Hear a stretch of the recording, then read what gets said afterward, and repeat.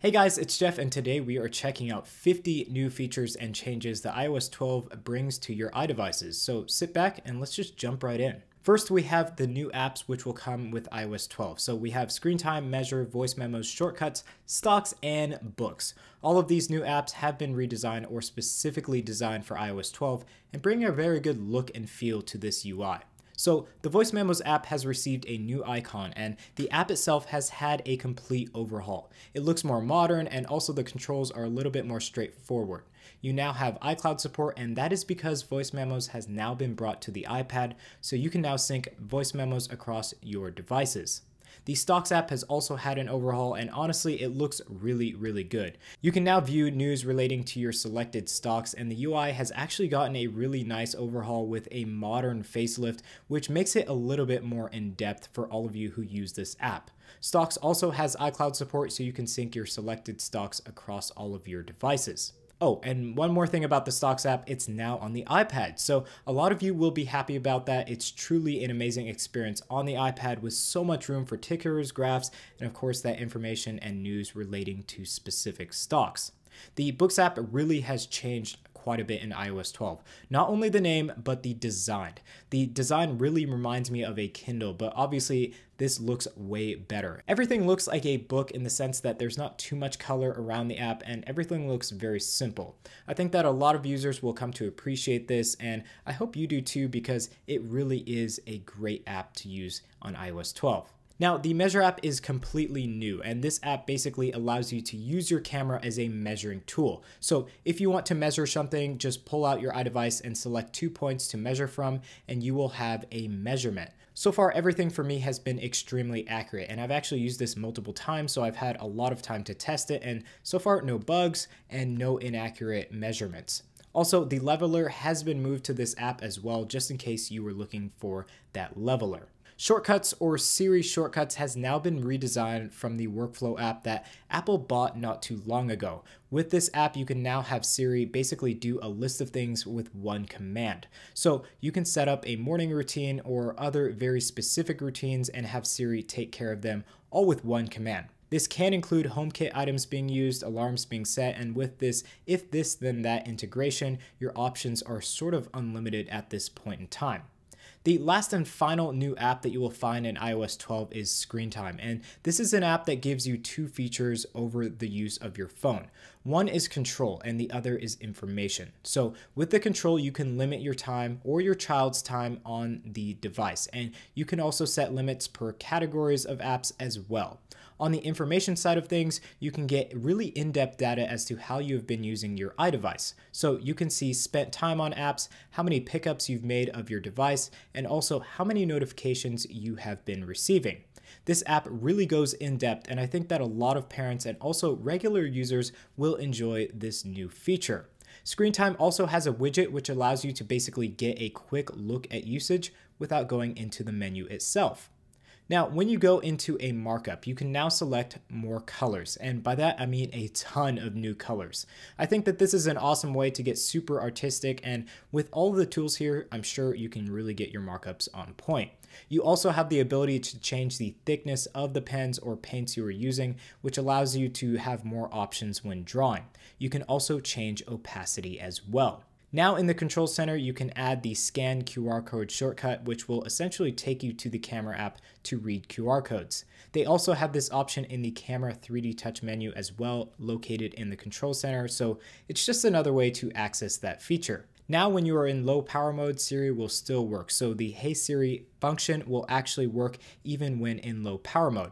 The process of Hey Siri has obviously been streamlined to take up significantly less power now, which is why it's now an option in low power mode. Now, when going into your app switcher, you now have the ability to just swipe up on your app cards to delete them. In iOS 11, things were changed to where you had to hold on the app card and then swipe up or press on that X at the top left-hand corner of the card. Now you can just swipe up for an easier experience in the app switcher. Next up, we have grouped notifications. Now in iOS 12, you will get notifications grouped per app, so your notification center won't be as cluttered as before, and this is just a much cleaner look rather than having notifications spread all over the place. With that change, we also see a change to the UI for the notification center. Everything is slightly bigger and bolder, and we also have a redesigned preference tab where you can manage your notifications a little bit further without going into the settings app. The next feature will be Memoji, and Memoji is a custom Animoji that you have full control of. You can design and create a Memoji that fits your character. You can also have as many as you want. There are so many customization options that you can take advantage of, so go check it out and create some awesome Memojis to send to your friends. On that note, Memojis and Animojis now have tongue detection and wink detection, and recording has been extended to 30 seconds. Moving on, and Siri can now look up your passwords for you. She won't necessarily read them out to you, but she will take you to the keychain where you can get your password easily and be on your way. Of course, this feature is secure. It requires your voice and for your phone to be unlocked, so don't worry about any security issues. Now, let's go on to the settings app and see some changes there. In the notification menu, you now have a more expansive and in-depth UI experience to manage your notifications per app. You have a few more options here, but I think that having the icons in more detail and having a better looking UI really makes this experience easier to manage. In the software update menu, you now have the option to update your device automatically. Automatic updates are really good for those of you who always forget to update your iDevices on a regular basis. The updates will of course be installed via Wi-Fi only and will only install when your device is plugged in at night. This is a great way to keep your device up to date and secure as Apple continuously updates its security with an iOS update.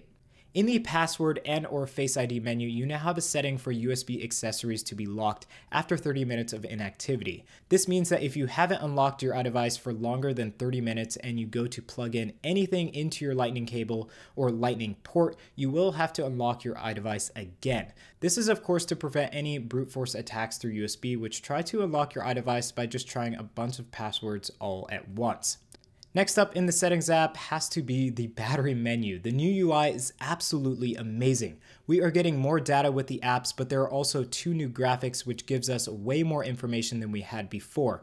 You can select times and dates individually to get a better idea of when you are using the most battery and what you were doing. Also in this menu, the battery health menu has been taken out of beta and is now fully operational, showing you your battery health on your iDevice. Now in the settings app and more specifically in the podcast menu, you have more customization with the skip settings so you can change the time for those. So that's really cool. You can sort of switch things up and look for more apps having useful custom options like these in the settings app. If you go to the Safari tab in the settings app, you can now select to see favicons in Safari. So that's been a long time coming, but if you have that setting on, you can now see those icons. And I think a lot of iPad users will like this change.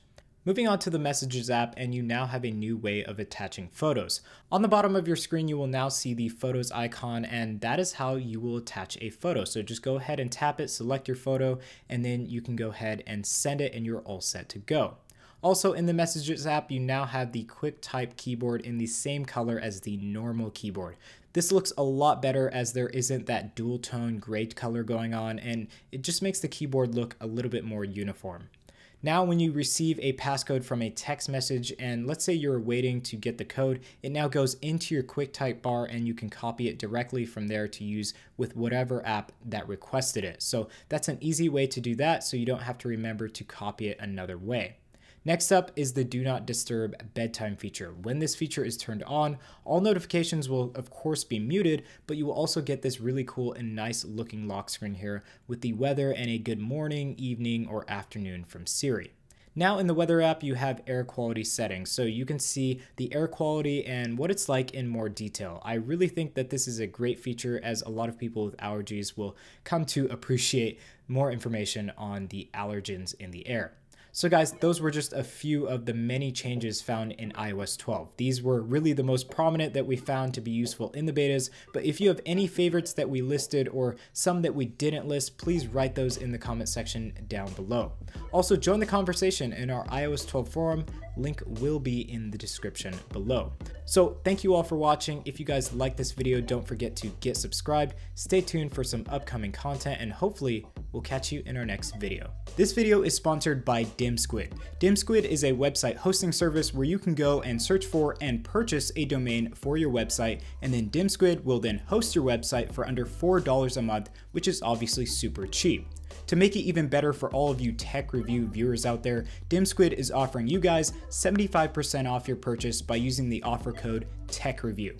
So check it out and get started today with your new website hosted by DimSquid.